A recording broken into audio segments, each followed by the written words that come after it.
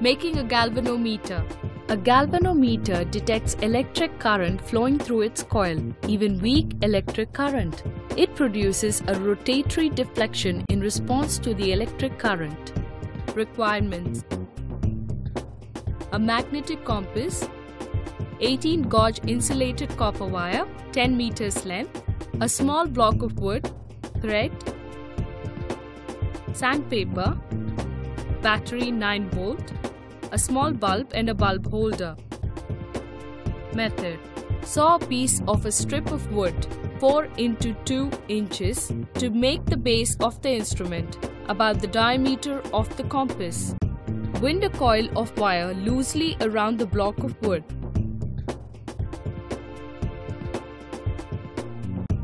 Tie these windings together at various points with thread. Now carefully remove the coil from the wooden block and reposition it. Stick it to the block.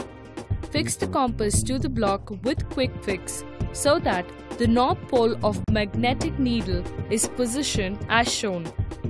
Scrap the insulation of copper wire from its two free ends with the help of sandpaper.